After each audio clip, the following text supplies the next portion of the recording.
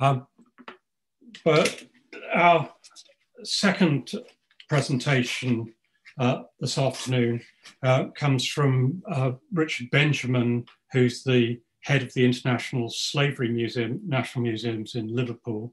Um, great, very big welcome to you, Richard. Um, uh, Richard uh, done a, a, massive amount of work on this, this area. Um, he's a, an alumnus of uh, Edge Hill College and then did his MA and PhD uh, in archaeology at University of Liverpool. He's held a research scholarship at Harvard and uh, his uh, work on the Slavery Museum is, I think, probably well known to um, an enormous number of uh, people who are here this afternoon. So very warm welcome uh, to you. Um, his uh, title is Museums and Social Justice, Taking a Stand. Over to you. Thank you very much, Martin, and uh, thank you for the invitation to, to speak here today. Welcome, everyone. And thank you, Danielle, as well, for your perseverance in, in getting me uh, here. Uh, Adele, I thought that was a really interesting uh, paper you just gave, and it just made me think because I'm in Liverpool, of course, and I do believe uh, the image you showed of the uh, children's uh, kind of hospital and home in Islington was actually owned by the Liverpool Hope University for many years. So that building now has a uh, uh, as a new uh, as a new life. So thank you everyone for your time. I what I will do now is try to use the dreaded screen share, which I will now do.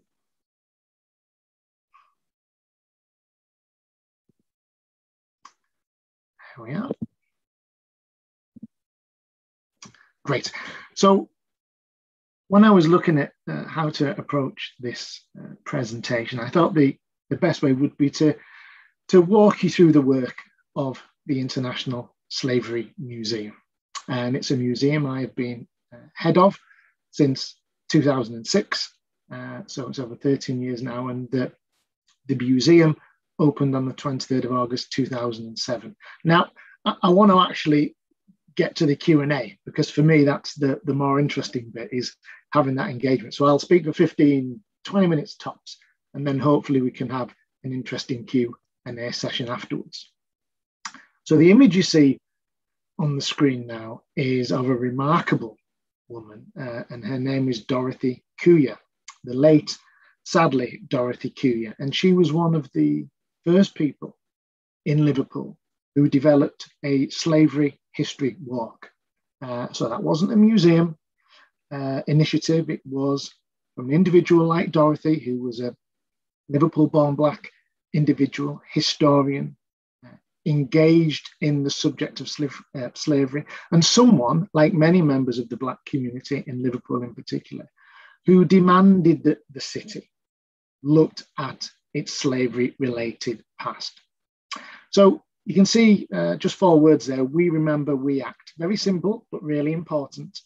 We remember, well, obviously, we're in Liverpool, which was the epicenter of the transatlantic slave trade. And uh, it's incredibly important for us as a museum to make people aware of the city's role in that. But the main thing for me and the team was always to humanize the subject matter. So you can talk about your statistics and your chronologies, etc., but always remember to humanize the subject matter. So the agency of the subject when you're a museum like ISM is particularly important. We act well, what that says is we're an active museum. We're trying to engage with issues that are relevant not only to the UK, but particularly Liverpool today. And to do that, you need to be seen as someone who is part of that community. Not always easy as a museum. One thing I do say to people never think of ISM in isolation at all. And I say to people, look at it as a part of a much greater narrative. And I've just put 40 years in the making. You could put 100 years in the making, to be honest with you. But I just want to go through some of the things on this list and tell you why they're relevant to the International Slavery Museum. So, the Charles Wootton College, that was one of the first colleges in the UK that had any of its uh, curriculum around Black history. And it was very successful for many years. And you might just see the vague back image there. And sadly, now it's turned into flats. So it's no longer there. It's an important point because many of the leading community educational resources in Liverpool, particularly in L8, that's Toxteth, which was traditionally seen as uh, kind of the centre of the Liverpool black community, although now that's very much changed and there's new demographics, etc. But it was really important because very few of those educational establishments are still there. So the museum definitely had a part to play, and still today is seen as being filling some kind of void. I next talk about Loosen the Shackles, first report of the Liverpool inquiry into race relations in Liverpool, way back in 89. Why is that relevant? After the Toxteth uprising, and you could have a whole presentation about this, early 80s, social unrest, a lot of difficulties in cities like Liverpool. Uh, for those of you that know anything about the history of Liverpool and at the time, the Conservative government, they were willing to have managed decline. So basically, they were letting the city kind of go, in one sense, a certain way. They were willing for it to do that. So this report was put together by a number of academics, local community activists, the first black head of Liverpool Community College, Wally Brown, and it talked about what the city needed to do to kind of to patch up some of the issues around uh, the disintegrating relationships that existed in the city, particularly between sometimes law enforcement and members of the community. But there was one recommendation in particular which was really relevant, and it was that the city needed to have an establishment that looked at in detail the city's role in the transatlantic slave trade. So, as you can see on the list there, I talk about the Transatlantic Slavery Gallery. 1994, in the basement of the Merseyside Maritime Museum. And for those of you that have never been, the Slave Museum is on the third floor today of the Merseyside Maritime Museum. It's part of a group of museums called National Museums Liverpool, largest series of museums outside of London. But in the early 90s, the Transatlantic Slavery Gallery was part of the Maritime Museum. So it was part of that narrative, uh, very much a mercantile chron- chronology of that. And even though it was positive that it was there, one of the things it didn't necessarily do is talk about the issues that affected, in particular, the Black community today. But the only reason it was there is because of the activism and interest of people like Dorothy Kuya. And without that, it wouldn't have existed. So everything that I talk about today, we're only here because people demanded it. And that's a really important point I'm going to make there. Liverpool had a public apology in 1999. What do people make of apologies? Very hard to say. Yes, it's one of the only cities in the UK, if not the only city in the UK to have an apology. But it's actions, not words, is it? And if you talk to many people in Liverpool today, they will say, well, what actually has happened as a result of that apology? So we opened in 2007, the bicentenary of the Abolition of Slave Trade Act. Uh, we opened on the 23rd of August, UNESCO Slave Remembrance Day, so a significant date and in 2017, our 10th anniversary. So, for over 10 years, we've been engaged in very difficult and sensitive discussions around the history of Liverpool and how that affects communities today. The museum's divided into three galleries Life in West Africa, Enslavement in the Middle Passage. And the one that I'm going to focus on really here is Legacies. Okay. And the reason I talk about legacies because it was an absolute aim of the museum when it was being developed to make itself relevant. Now, here is a random selection of the exhibitions that we have hosted. And if I just pluck one of them out, Home Alone, 2010. Home Alone's important because it was one of the first exhibitions that engaged in an active campaign with a partner organization. And one of the things that has been difficult and it's been challenging, but we think important, we wanted to broaden people's understanding of slavery and enslavement generally. So the car will always be transatlantic slavery in its legacies, but we wanted to introduce people to other forms of slavery enslavement. And we wanted people to get active in campaigns. So this was working with Anti Slavery International, one of the leading NGOs in the area, and it was to highlight the uh, domestic workers around the world, particularly Haiti. So it set the tone for the types of relationships we wanted and how that specifically linked into output, i.e., exhibitions. Here's a quote uh, from Kevin Coffey, and you can see he works for Lowell National Historic Park. Uh, quite a simple quote, but actually one, and I'm sure knowing Adele, and she, he'll agree with this, it's not everyone in the museum sector still necessarily believe this, that museums are not neutral organizations. They are active social participants. And that's why a museum like ISM needs to make itself relevant. But equally, within the sector, that isn't something that's always agreed. Sometimes people think there should be that detachment from those issues, uh, and you're particularly objective. But when the International Slavery Museum opened, the intention was for people to make decisions where you would get engaged in certain campaigns and in attempt to see yourself as an activist as well. Now, even if you didn't want to do that, other people would draw you into that discussion. This is the a sign just outside the museum, and uh, obviously we'll have an international audience here, so you might not all be familiar with who this organisation is, but you can see a sticker at the top right. It's National Action. It's a white supremacist group, and it's actually now it's been uh, outlawed in the UK, and it's a banned terrorism group. And they came to Liverpool several years ago, and uh, when they were in the city, where did they head? Well, they came down to the International Slave Museum because they were trying to make some kind of statement because they felt threatened.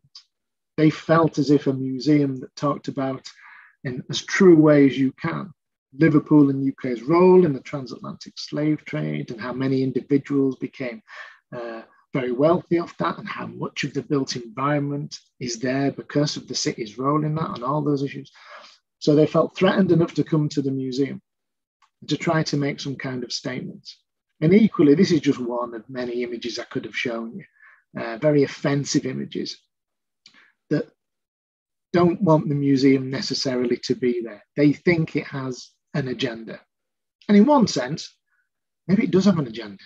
It's to tackle the legacies of transatlantic slavery, such as racial inequality and hate crime. And because we want to do that, it's about partnering with individuals and communities and organizations that shares those beliefs. So if you do ever make a journey to the International Slavery Museum, our education center, our education base is called the Anthony Walker Education Center. And many of you may not have heard who Anthony was. He was murdered in a racial attack in 2006 uh, in a part of Merseyside. And out of that horrendous event was born the Anthony Walker Foundation. Uh, hope, not hate. And they don't preach hatred, they preach hope. And for many of us, if your son uh, or your brother was murdered in this way, probably hate would be something that would be a natural feeling. But they've tried to be positive. Anthony was an athlete, loved basketball. So they've tried to educate people on the issues around hate crime. And I was invited to be a trustee of that 10 years ago. And I'm very proud to say I'm still a trustee of the Anthony Walker Foundation today. So, what we did as a museum when we opened in 27, we were going to use some footage of a press conference where members of the family were talking about Anthony's death. And we could have done that as a museum, you know, all the copyright issues, etc. But we just felt if we're doing this differently, we need to speak to the family. So we asked his mother, Gee Walker, and his sister, Dominique Walker, if they'd come into the museum and we showed them the footage. And they were very happy with us doing that. And that relationship, which has been over 10 years now, has led to hundreds, if not thousands, of people. In fact, thousands of people, particularly young people, who have had sessions within the Anthony Walker Education Centre. And if they don't know who he was when they went in, they know who he was when he when they came out of that room. So it's very important that we're engaging with organisations like that. And the museum in Liverpool, along with our sister museum, the Museum of Liverpool, uh, which is not very far from us, we're actually some of the only museums, if not the only museums in the country, that are third party hate crime reporting centres. So if you're uneasy sadly you've been affected by a hate crime and you might not want to go to the police, you can come to places like the Citizens Advice Bureau, fire stations, and to the museum. And that's not what people expect of museums. And uh, I'm pleased to say that you don't often get people coming into the museum. You wouldn't want that. But it shows that we're there and we're engaged in a very difficult local and national subject around hate crime. So we want to be relevant. And one of the things the museum uh, has done recently, we've been engaged in a discussion uh, with Liverpool City Council and the two individuals that you can see, marvellous individuals, Michelle Charters, Michelle Charters, who's the CEO of Kuumba Imani. It's a business and community centre in Liverpool 8. Uh, it's been established many, many years and it's got held in very high regard, does some excellent work. And the gentleman there is Andrew Lynch. Now, Andrew is the son of a gentleman called Eric Scott Lynch. And like Dorothy Kuya, he was one of the first people to ever develop a slavery history trail around the city as a historian, as an engaged individual, as a descendant of someone who'd been enslaved. How incredibly powerful is that? And finally, the city. Maybe one would think that many of the street names in the city that are named after people who were involved in the transatlantic slave trade would already have that information next to them. And that's not always the case. So 10 streets as a starting point have been earmarked for them to have more context towards why they are named. Streets like Fulton Square, Bold Street, which is one of the, the main streets in the city centre of Liverpool, named after Jonas Bold, the slave trader. It's an enormous list. So the museum is partnering with a family member, with Andrew, and with people like uh, Michelle to make sure that the city finally recognises some of those issues you have to be part of these national narratives. And very few museums, if any museums, have uh, not been able to engage, whether they wanted to or not, within some of these recent issues. Now, I would say, as I often I often say to people, Black Lives Matter. Don't look at it as a moment, because if you do, it means you don't realise it's part of a movement. Movements are constant; they're active, and there's many, many pioneers in the US and beyond from the civil rights movement who are active in campaigning against challenging racial injustice. But we're in a period today where more museums and the sector as such are realizing that they can't be exempt from this discussion. So in National Museums Liverpool, where there are several museums, uh, each of the museums has made a commitment to, how shall I say, to develop their content and to attempt to diversify their stories, and indeed the people that work with the museums as a result of some of the horrific actions that have taken place. Now, National Museums Liverpool has ISM. We've existed since 27.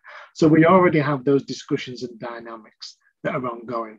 And one of the things I would say to people is uh, if it's really hit home how you need to be as a museum today involved in issues like this, and to understand what it means, for instance, to be anti racist, Let's see what the statements say in six months or another year's time.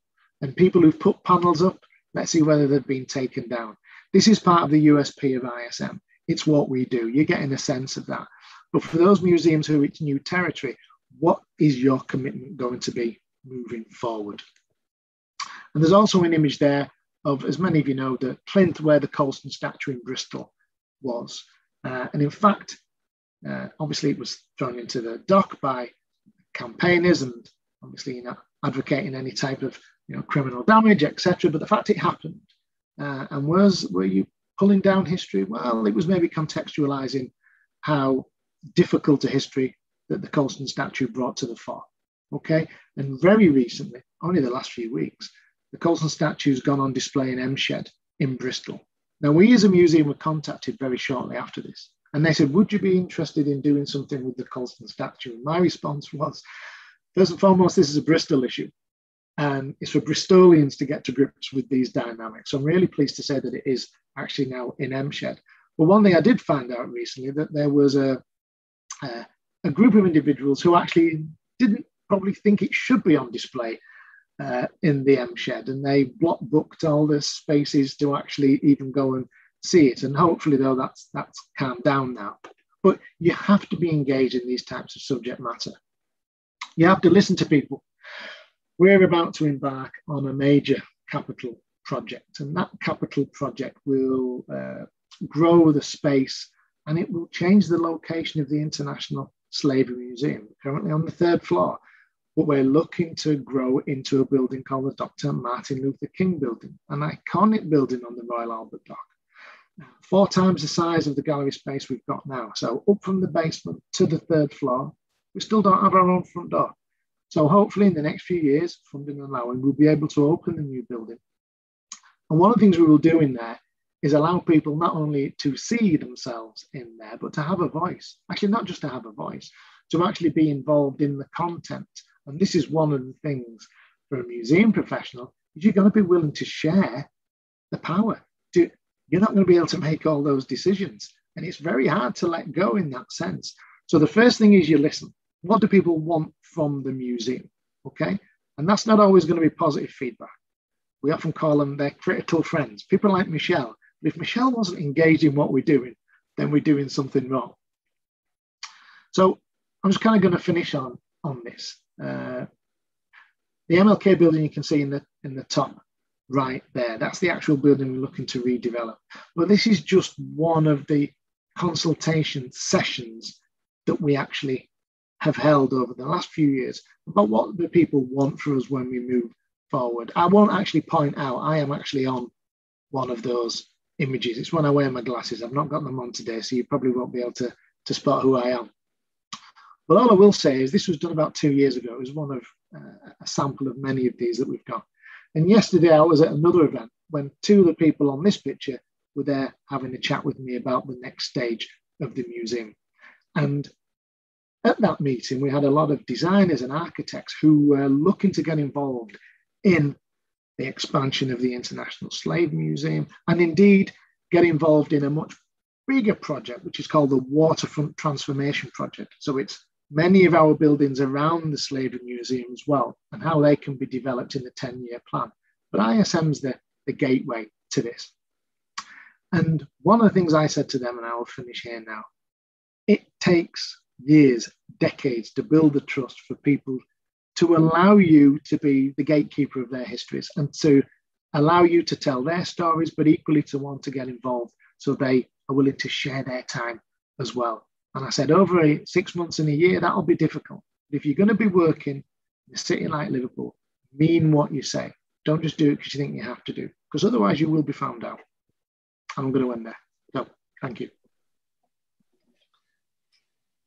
Th- thanks ever so much, Richard. That was uh, that was fantastic. Um, can I um, just take chair's privilege and ask a, a, question to kick off with, which is um, when you're consulting on this wonderful plan for growing the museum, um, how do you how do you draw in the sort of people who don't usually contribute to those uh, consultations?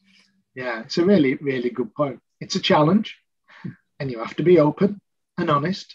But one of the things that we do and do well, you often work with certain individuals, certain community organizations that they're part of. One thing I didn't mention is we have a group called the Respect Group. It's a community advisory body, and it has members of local community groups, members of the city council, law enforcement, etc. And that's an open invitation to people to join. But you've got to kind of know about the museum to even show an interest, isn't it? And the Liverpool dynamics, you know, changes. So traditionally, people often talk about Liverpool Lake communities being the, the heart and soul of the black community. But you don't often hear people talk about newer black communities in the north end of the city, traditionally the white working class part of the city. Again, related to what Adele's talk was about. Uh, so you've got to reach out now, museums are in difficult positions. We don't all have outreach departments like we used to do. Okay, so you use all the tools you've got, one of them being the social media, the digital, to make people know that you're there, that you actually exist. But what I would say is, I don't want to actually be too prescriptive about how we go about that in the future. So we've got a core group of people we're working with. So we're actually having discussions, real time discussions about how we would do that and if there are any pitfalls that may befall us when we do it. So we actually find out the end of this month if we have the go ahead green light to go to the next stage of the submission. And as part of that, there'll be a two year development stage where we're able to answer that question mark. Thanks. That's a, we're we're keeping our fingers crossed for you at the end of this this Thank month. you. Um, there's a question here from Abigail saying, uh, asking how uh, you're uh, revising and developing the content of the uh, work on the street signs. Um, is, that live? I think is the uh, is the question behind that. Absolutely. The first plaque will go up in the next few months. Uh, it's a number of uh, local historians, particularly local black historians, who have developed the text for that. It was a kind of a group decision about which streets you look at. There was a horrendous amount of red tape to go through. Who owns the land, etc. You know, the, the full city council don't own all the land, so you've got to go all through this about developing relationships and saying to people, look, it's positive that the street that your building's on, people understand the, you know, the context. Andrew Lynch, who I mentioned, the son of Eric Lynch, they're going to be called the Eric Lynch slavery plaques. So it's a nod to Eric's work. Okay. So 10 have been earmarked, but this is a real time project. So over the next few years, I think we'll be working our way through many of the other streets. Great. Um, and then uh, quite a long question here from Catherine Harlow, putting your presentation together with Adele's. She asks what the International Muse Slavery Museum and other heritage institutions do to help Black and White Britons today understand the history of empire and enslavement as something that does entangle and intertwine us all across racial and class divides. She's saying she's presenting this from someone who's uh, uh, has Irish ancestry as well as uh, African uh, Caribbean right. diaspora background. Which is it, which is very much a Liverpool story. Yeah. I know lots of people and friends who are exactly the same kind of heritage. You know, it's Irish and it's a mixture of Caribbean or African Ghanaian. So that's a real, you know, it's a real Liverpool citizen kind of background, uh, you know, to have. The museum, even though we make many subjective decisions, as I talked about is there to bring people together. It's about moving forward to be positive, working with people like the Anthony Walker Foundation. You know, you're not preaching revenge or hate, you're being educational and telling people why what they did was wrong. And these are the moves that the city, law enforcement, individuals need to take to, to change that. I often put the emphasis as well. Museums are important because we're platforms and we are funded nationally, like we are. Uh, to educate people on this subject, whilst at the same time being very realistic and realizing that you are part of the activism, not just kind of detached, you know, from it. But it's a get you have to get people in your space. So I would always say this is not about castigating, particularly, you know, the white working class from the North End. It's really important that you get them to come to the museum and to engage with people. Don't be frightened. Ask questions. Mm-hmm. I know we're in a polarized society, black and white. You know, people, it's good or bad, or you know, if you don't kind of have the St George's flag from your house, you're not, you know, you don't believe in your country, and all that kind of rubbish. But that's the kind of real time discussions we're having, isn't it? So we have a part to play to make people realize the background to that, why people think like that, and what we can do to change it. Um, and I've got a very topical one from Jane Gallagher here. How are you responding to government pressure to uphold particular views of history? Well, that's very relevant, isn't it? Got to be careful what I say. ISM was always, you may not believe this, had a great degree of autonomy. And I, and I think it's because we have such a high profile. And, you know, we're working with people who, cities and individual, well, communities and who have benefited from the work we do. So why change, why break, why change something? Why break it when it when it works. So I have not, I understand it's a big discussion, but it's not, I don't feel any pressure exerted on me and the team on a daily basis. Okay, I'm not saying that's not the case with my colleagues in other museums, but ISM's pretty much doing what we want to do. Good. And one final question here uh, from Fraser Brown, um, asking about synergies with the Lancaster Maritime Museum, a city where a similar situation exists yeah, and, and there's a, obviously one of the very few memorials to enslaved mm. Africans is in mm. Lancaster, and actually Liverpool doesn't even have a memorial yet to enslaved Africans. It's a really good point. So we may be changing the street plaques up, adding information uh, to them. So yes, Lancaster, places like Cockermouth, Whitehaven, It's mm. not just the big cities who are involved in this. I would say it's about not being scared and worried to kind of come and work with us. Sometimes maybe there's a feeling of that, like if you raise your head above the water too much, it can bring you a lot of pressure. So, no, we're about making partnerships. I know a lot of people in Lancaster, people like Professor Alan Rice from UCLan. So there are discussions ongoing. But anyone here today who knows anyone or any organisation that wants to touch base with me, you know, Martin and Danielle have my have my details. Right. Thank you so much. That was uh, really, really inspiring to see uh, what can be done, what you are doing. And we do wish you the very best in your decision over the next couple of weeks. And hope Thank that, you very much. Uh, hope that you move on to uh, bigger uh, uh, premises.